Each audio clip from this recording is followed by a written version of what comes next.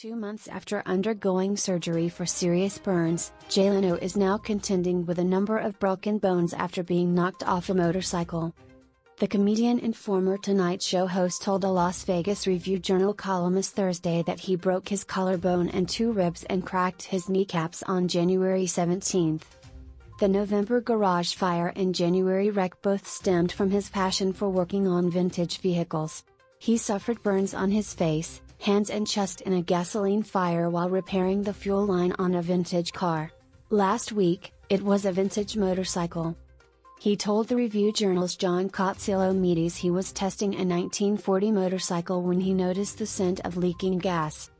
So I turned down a side street and cut through a parking lot, and unbeknownst to me, some guy had a wire strung across the parking lot but with no flag hanging from it. Leno, 72, said. So, you know, I didn't see it until it was too late.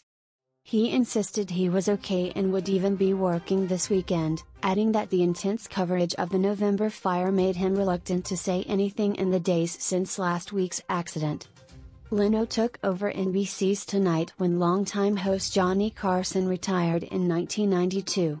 He was succeeded by Conan O'Brien in 2009, but NBC got cold feet when the show's ratings dropped and brought Leno back as host in 2010. He remained in the job until Jimmy Fallon took over in 2014. Leno turned his love of cars into a CNBC series, Jay Leno's Garage, and hosts a revival of the game show You Bet Your Life.